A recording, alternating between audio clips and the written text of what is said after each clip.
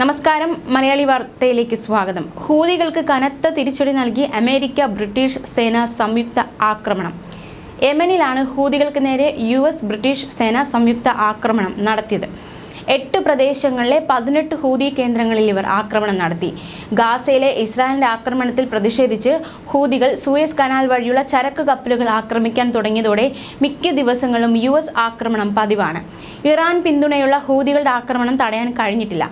ഇന്നലെ ഏതൻ കടലിടുക്കിൽ U S എണ്ണക്കപ്പൽ ഹൂതികൾ ആക്രമിച്ചു പക്ഷേ ആളപായമൊന്നും സംഭവിച്ചിട്ടില്ല.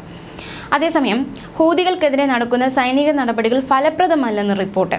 ഹൂതികളെ ചെറുക്കാൻ അമേരിക്ക നടത്തുന്ന ആക്രമണങ്ങൾ പ്രതീക്ഷിച്ച ഫലം കാണുന്നില്ലെന്നും പാഴായി പോവുകയാണെന്നും എന്നുള്ള റിപ്പോർട്ടുകളാണ് ഇപ്പോൾ പുറത്തു വരുന്നത് യു എസ് ഉദ്യോഗസ്ഥരെ ഉദ്ധരിച്ച് സി എൻ എൻ ആണ് ഇത്തരത്തിലുള്ള റിപ്പോർട്ട് പുറത്തുവിട്ടിരിക്കുന്നത്. ഈ റിപ്പോർട്ടിൽ ചൂണ്ടിക്കാണിക്കുന്ന മറ്റൊരു പ്രധാന കാര്യം ഈ ആക്രമണങ്ങൾ ഹൂതികളെ കൂടുതൽ ശക്തിപ്പെടുത്തിയെന്നാണ് തങ്ങൾ പുതിയ മിസൈലുകൾ വികസിപ്പിച്ചതായി കഴിഞ്ഞ ദിവസം ഹൂതി നേതാവ് സയ്യിദ് അബ്ദുൾ മാലിക് ബദ്രീദ്ദീൻ അൽ ഹൂദി ടെലിവിഷനിലൂടെ അറിയിച്ചിരുന്നു. ഇതിന് രണ്ട് ദിവസത്തിന് ശേഷമാണ് ഇത്തരത്തിലുള്ള റിപ്പോർട്ടും കൂടി പുറത്തു വരുന്നത്. തങ്ങളുടെ പുതിയ മിസൈലുകളെ യു എസ് സേനയ്ക്ക് ചെറുക്കാനായില്ലെന്നും കപ്പലുകളിൽ പതിച്ചെന്നുമാണ് അബ്ദുൾ മാലിക് പറഞ്ഞിരിക്കുന്നത്. അധിനിവേശ വെസ്റ്റ് ബാങ്കിലെയും ഗാസയിലെയും ഇസ്രായേൽ ആക്രമണങ്ങൾക്ക് മറുപടിയായി ചെങ്കടലിൽ പ്രതിരോധം തുടരുമെന്നും ഇവർ മുന്നറിയിപ്പ് നൽകുന്നു. ഇസ്രായേൽ അധിനിവേശത്തിന് ആയുധം നൽകി ഈ കുറ്റകൃത്യങ്ങളിൽ ഒരു പങ്കാളിയാവുകയാണ് അമേരിക്ക എന്നതാണ് മറ്റൊരു ശ്രദ്ധേയമായ കാര്യം. ഗാസയിലെ ഫലസ്തീൻ ജനതയ്ക്കെതിരെ ഇസ്രായേൽ വംശഹത്യയും കൊലപാതകവും നടത്തുകയാണ്. അവരെ പട്ടിണിക്കിട്ട് കൊല്ലുകയാണ്. ശത്രുക്കളുടെ കടൽ വാണിജ്യ ഗതാഗതത്തിന്റെ നാൽപ്പത് ശതമാനവും നിർത്തലാക്കാൻ സാധിച്ചിട്ടുണ്ട് എന്നും ഹൂതികൾ പറയുകയാണ്.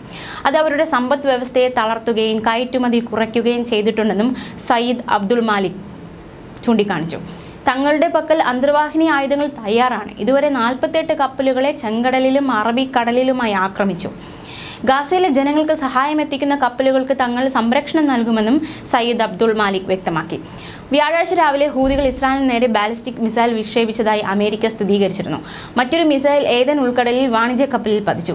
ബ്രിട്ടീഷ് ഉടമസ്ഥതയിലുള്ള കപ്പലിന് നേരെയായിരുന്നു ആക്രമണം. കപ്പലിന് ചെറിയ രീതിയിൽ കേടുപാട് സംഭവിച്ചെന്നും എന്നാൽ കപ്പൽ ലക്ഷ്യസ്ഥാനത്തേക്ക് യാത്ര തുടരുകയാണെന്നും യു ഉദ്യോഗസ്ഥർ വ്യക്തമാക്കി.